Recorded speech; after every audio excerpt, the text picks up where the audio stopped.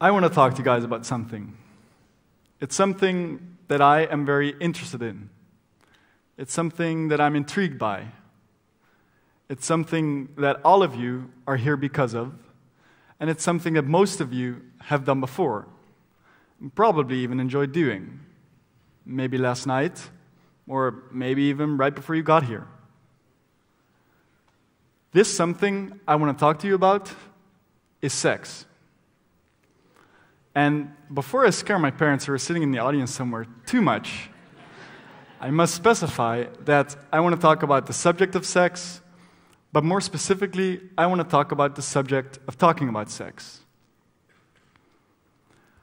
When it comes to sex, I always like to think that I can do better. And if I can do better, you can too. Um, and to get better, you have to learn one of the ways to learn about something is by talking about it. But I often notice when I talk to people who don't know me about this subject that they get really awkward and kind of uh, move back. And even almost always, um, when the conversation continues, they seem really open and also very keen to learn, just like I am. So, how come, even though a lot of people do this, it's still such a taboo? People still don't like talking about it. Let me give you an example. If you would meet me at a party, you don't know me, and we get talking, and at a certain point in the conversation, you ask me about my hobbies. You say, Well, Jesse, what do you do for fun?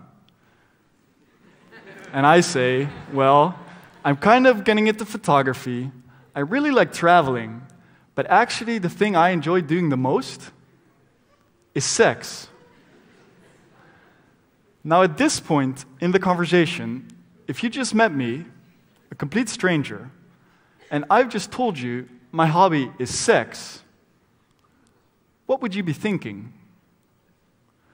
Would you think something like, whoa, this guy must be sex obsessed? Shouldn't your reaction be more like, sex? I get that. This way, we could have a conversation about it and share experiences. Why isn't it the case that when a coworker would ask you about your weekend on Monday, why can't you just say, Well, my weekend was great. Saturday, I had my cooking class and I went to the gym. And Sunday, my girlfriend and I just slept, slept until about 11, had breakfast in bed, and had amazing sex. Why would that be such a weird thing to say? It's not like people think that no one has sex.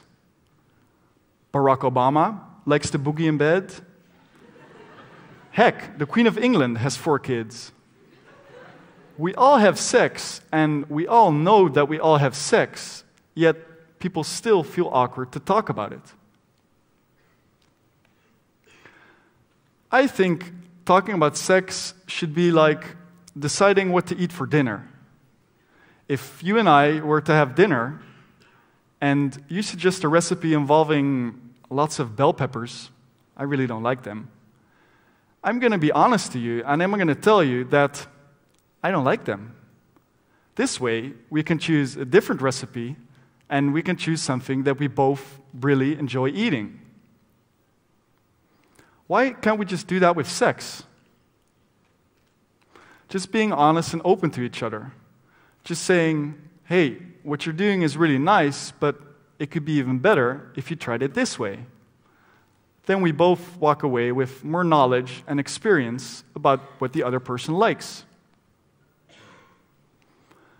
So, next time, when you're talking with friends, colleagues, classmates, or a complete stranger at a party, let's just all be a little bit more open and honest so we can learn from each other's experiences. And next time, if you meet me at a party and I tell you my hobby is sex, will you tell me what's yours? Thank you.